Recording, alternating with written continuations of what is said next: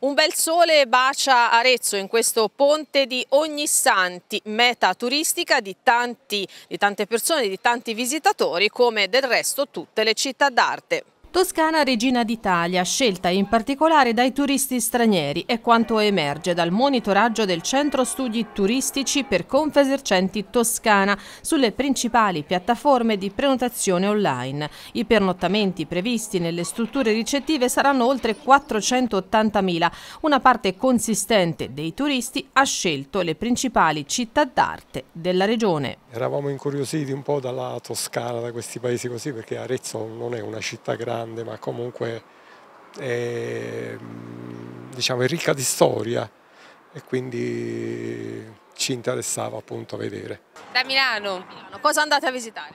La casa del Vasari, penso, sì. Okay. La mostra anche quella della Chimera? Probabilmente domani. domani. Okay. Piero della Francesca? Abbiamo prenotato, sì sì, San Francesco. Quindi avete già tutto l'itinerario pronto? Ma più o meno, insomma, così. Abbiamo guardato cosa c'è, adesso man mano vediamo, però questi bisognava prenotarli. Rimanete qua per il ponte di Ognissanti o girate? Sabato sera, sì sì, solo qua, poi torniamo a casa. Il tasso medio di occupazione per le città d'arte si attesta al 90%, 76 per le località di montagna, 73 per quelle marine, 83% e 82% per le località termali. Siamo italiani e dobbiamo goderci le bellezze italiane. C'è tanto da vedere in Italia. Tanto, tanto, non basta una vita. Avete scelto Arezzo o c'è un motivo particolare? È l'ispirazione.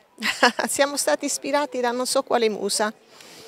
Sapete che c'è anche questa bella mostra su Vasari, la Chimera? E infatti, infatti, ci fermiamo un giorno in più proprio per goderci Arezzo.